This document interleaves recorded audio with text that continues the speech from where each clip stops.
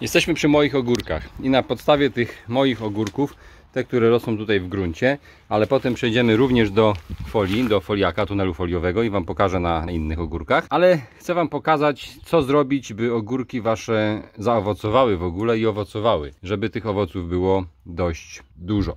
Ważnym, ważnym takim elementem jest prowadzenie ogórka na jeden pęd. Nie na dwa, nie na trzy, nie na cztery.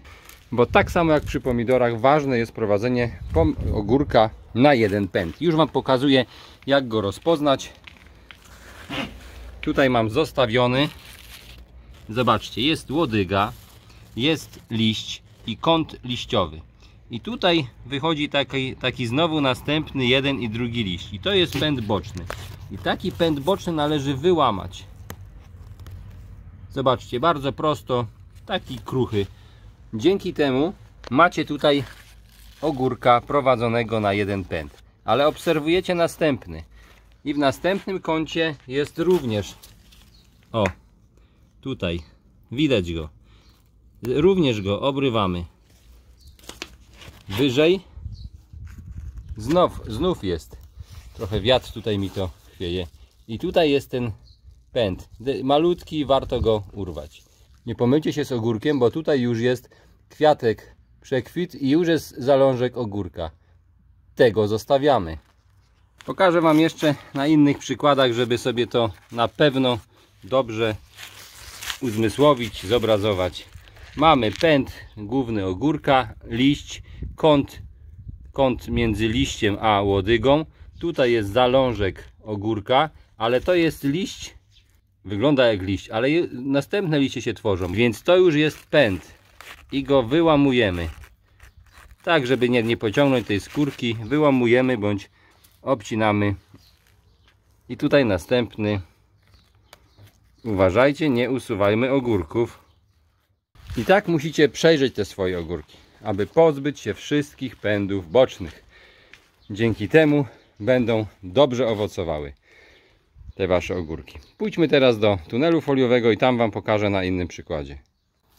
Jesteśmy w moim tunelu, gdzie rosną i pomidory, i ogórki, i papryka. Pomieszanie z poplątaniem, ale zobaczcie jak te ogórki bujnie rosną.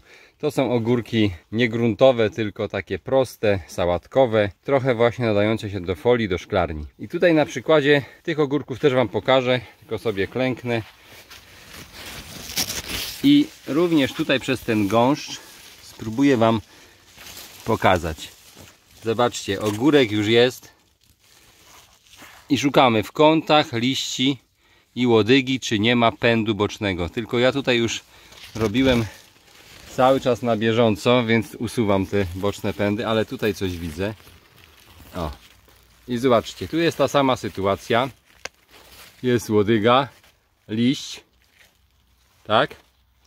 I tu jest ogóreczek, ten, co, który będzie ogórek. I to jest ten pęd boczny. Nie potrzebujemy go tutaj. Już jest usunięty. W taki sposób usuwacie pędy boczne tych ogórków.